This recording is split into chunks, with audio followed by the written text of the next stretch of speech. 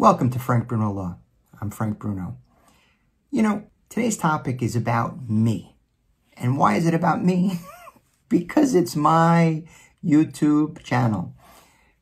Well, only joking a little bit. I was asked today, hey, what do you do?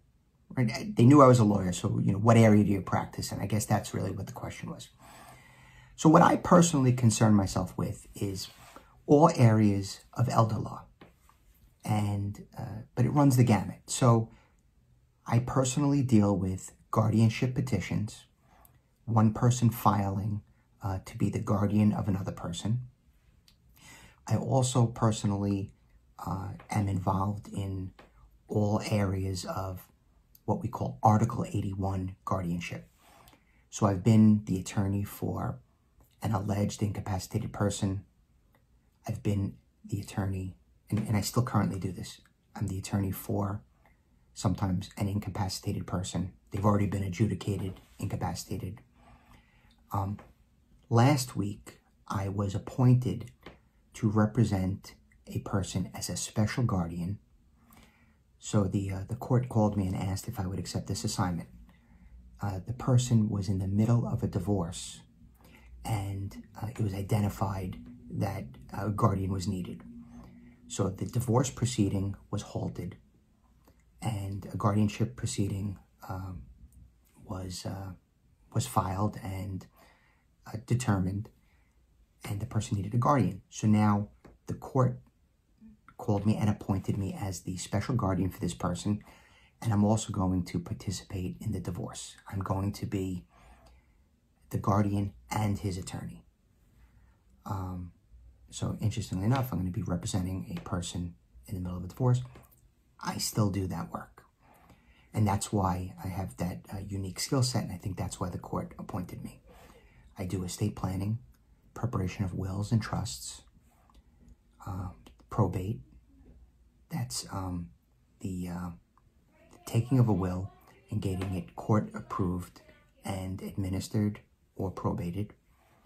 Um, and then my office, the uh, I have a staff and I have an associate and a part-time attorney. So I have a full-time associate and uh, also a part-time attorney that comes into my office and works uh, mostly in the area of uh, probate and filing motions. And he, he assists us with uh, preparation of some uh, things that take a little more time to prepare. My associate handles contested divorces, uncontested divorces, contested guardianships, and uh, contested probate matters. So the litigation aspect of uh, some of the areas that we practice. I also handle the litigation aspect, but in that we uh, we dovetail and, and, we both work together in that. So uh, that's in three minutes. That's that's what I do. Um, part of being an attorney uh, representing uh, an elder, you know, so I identify as an elder law attorney, right? That's the person. The person is elderly, and there's a a range of legal services that happens for the elderly person, um, all the way from housing. Um, to selling a house to preparing an estate.